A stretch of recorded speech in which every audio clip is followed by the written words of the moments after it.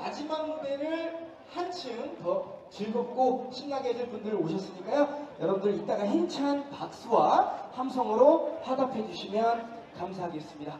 네, 이제 어느덧 무대 세팅이 이제 준비가 완료된 것 같습니다. 이제 한번 소개를 천천히 한번 올려보도록 하겠습니다.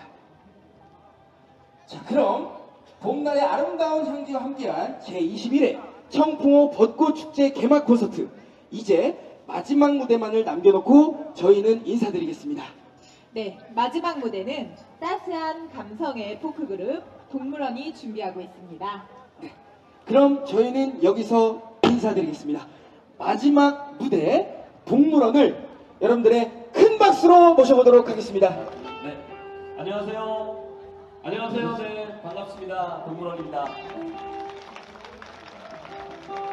아, 먼저 어, 노래로 어, 여러분들께 인사드리도록 하겠습니다. 우리 제천 시민들을 향한 저희 동물원의 마음을 담은 노래고요. 이 노래 후렴 아까 뭐 사회자분께서도 잠깐 어, 소개해 주신 곡인데 아마 많은 분들 쉽게 같이 부르실 수 있을 것 같습니다. 널 사랑하겠어 보내드리겠습니다.